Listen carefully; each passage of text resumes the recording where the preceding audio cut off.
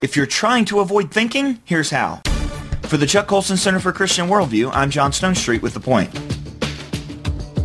As we enter the heat of the political season and as the issues on the table become more significant for our culture, it's never been more important to know how to listen to others and engage in sound thinking.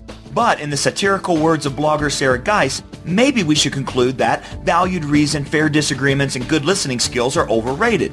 In that case, she has some advice for you. Like, assume that anyone who disagrees with you is personally attacking you. Or even better, that they're racist or full of hate. You could ignore any nuances in their argument or skip ahead to their conclusion and ignore their arguments altogether.